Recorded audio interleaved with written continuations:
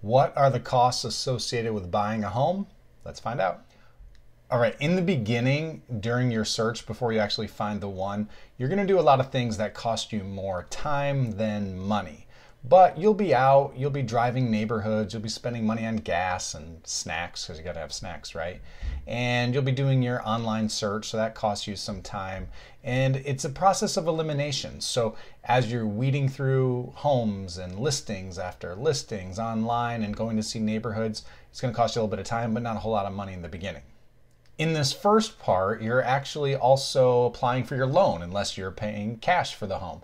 So there might be some fees associated with this, but check with your lender to get a good list and a clear list of what those are. But they could be things like uh, your credit check fee, um, paying for overnighting of documents, or maybe a loan application fee. But again, check with the lender because they'll give you a complete list.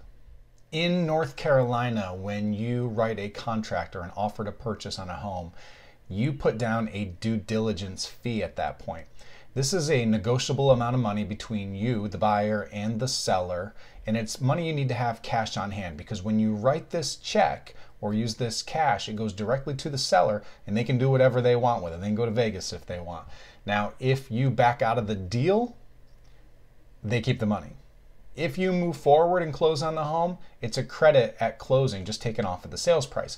But this fee buys you a window of time, a negotiable amount of time for you to do your due diligence, do your home inspection, do a structural inspection if need be, inspect the HVAC, the electrical, the roof, do a pest inspection, a radon inspection, anything you want, but all of these are going to cost money too, and this is a fee that you pay at the time of that service.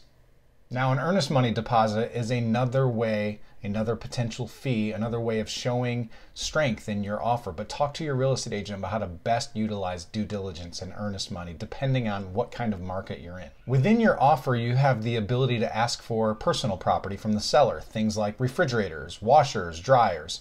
And keep in mind that if you don't already have these on hand, that's going to be money that you have to spend later.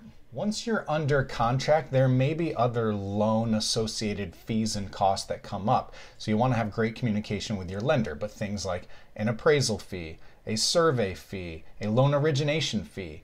Find out what has to pay, be paid before closing in cash and what can be paid at closing rolled into everything else. And at the closing table, there are more fees that come up that get added to your closing disclosure. Okay. Things like your prorated taxes for the length of time that you're going to own the home that year, prepaid interest on your loan, um, HOA fees, uh, the monthly fee that the HOA charges, but also there might be a fee that is required to transfer the property, or sometimes a working capital fee that you pay basically into the HOA reserves so that the HOA money is never really in doubt title insurance, the recording of the deed, and then even the fee to actually have the closing attorney close the loan. Work with a good agent that will help guide you through all of this because there's so much more that goes into it than just the sales price of a home. And you want to be prepared well and know what you're getting into, especially in a strong seller's market like this, so you can go out there and you can win.